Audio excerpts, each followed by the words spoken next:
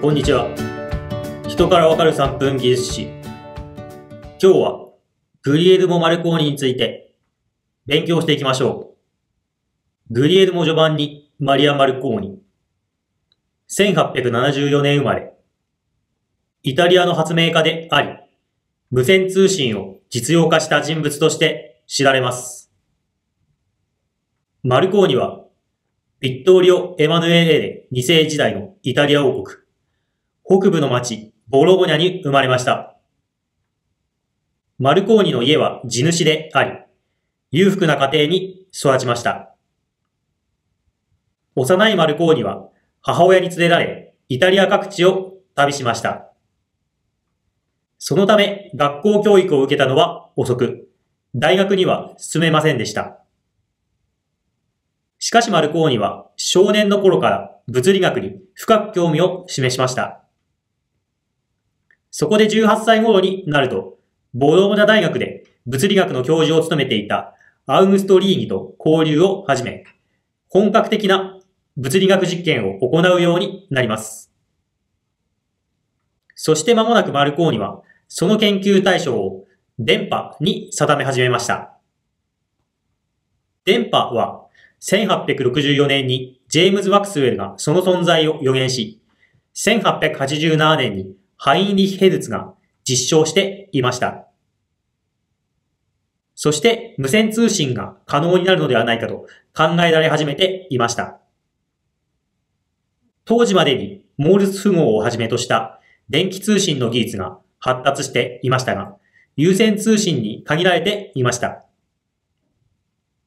そしてマルコーニはリーギからヘルツの論文を紹介されたことで、電波を使った無線通信の研究に没頭することとなります。そして1896年、マルコーニは22歳の頃に世界最初となる無線通信の特許を取得します。マルコーニはイギリスの物理学者オリバー・ロッジが発明した検波器であるコヒーラを改良し、2km にわたる長距離無線通信を実現しました。これ以後マルコーニは1897年にはマルコーニ無線電信会社を創業。物理学者のジョン・フレミングを技術顧問に迎え、無線通信技術の発展と事業化に努めました。無線通信の飛距離は飛躍的に伸び、1901年には大西洋横断無線通信を実現。